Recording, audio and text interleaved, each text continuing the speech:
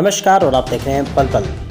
रतिया के गाँव सरदारेवाला में एक वृद्ध की हत्या का मामला, पुलिस ने 24 घंटे में सुलझा लिया और बड़ा खुलासा करते हुए पुलिस का दावा है कि ये हत्या किसी और ने नहीं, बल्कि बुज़ुर्ग की पत्नी ने खुद की है। उसने घर में रखे एक लकड़ी के थापे से बुज़ुर्ग को मार डाला। मृतक की पत्नी ने तीन अज्ञात युवकों के खिलाफ मामला दर्ज करवाया था और पूरी तरह से ड्रामा भी रचा। पुलिस ने पूछताछ के बाद मामले में एक बड़ा खुलासा किया और मृतक की पत्नी, जयराम की पत्नी को गिरफ़्तार कर आगे की कार्रवाई शुरू की। पुलिस का दावा है कि जाँच के दौरान पुलिस को शक हुआ था कि उसकी पत्नी झूठ बोल रही है, क्योंकि उसकी पत्नी ने जो बयान दिए थे, उसके अनुसार तीन अज्ञात नकाबपोश युवकों तथा उसके कमरे में घुस करके तेजधार हथियार से उसकी पत्नी के सामने हत्या की।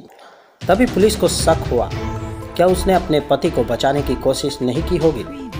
और अगर की होगी तो उसकी पत्नी को कोई चोट भी नहीं आई, और ना ही उसके कोई निशान थे।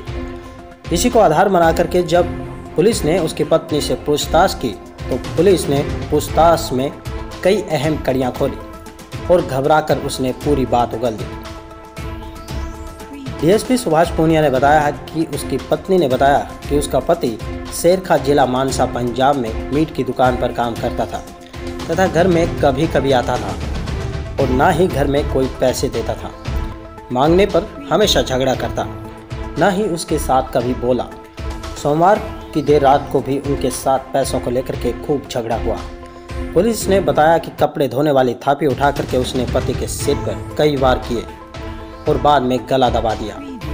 जब उसे लगा कि उसकी मौत हो चुकी है तो उसने शोर मचाया और तीन अज्ञात नकाबपोशों को हत्यारा करार दिया। पुलिस ने बताया कि इस मामले में मृतक की पत्नी को हत्या के आरोपों में गिरफ़्तार कर आगामी कार्रवाई शुरू कर दी गई है।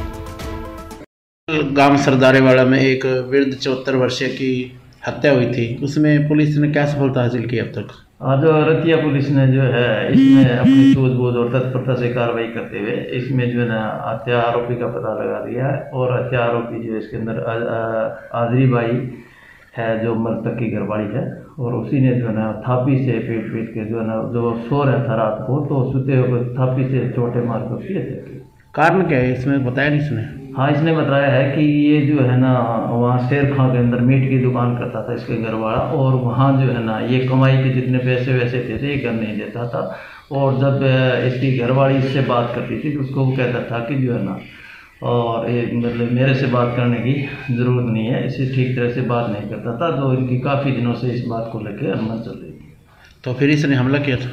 हाँ इसने जो है ना, इसकी घरवाली है, आदरी भाई है इसने जो है ना, ये कपड़े धोने वाली थापी है। जब गहरी नींद में सो रहा था, तब इससे जो है ना, थापी से जो है इसको वार किया और जिससे बेहोश हो गया, फिर थापी से इसका जो है ना, गला भी इसकी जो है ना, गिरफ़्तार कर लिया गया और इसकी जो ये जो हमलावर थी उसकी गिरफ्तारी हुई है? हाँ यस उसकी गिरफ्तारी हो चुकी है और जो है ना, हम जो है ना इसे की परमिशन लेंगे और कल इसको अदालत में पेश करेंगे।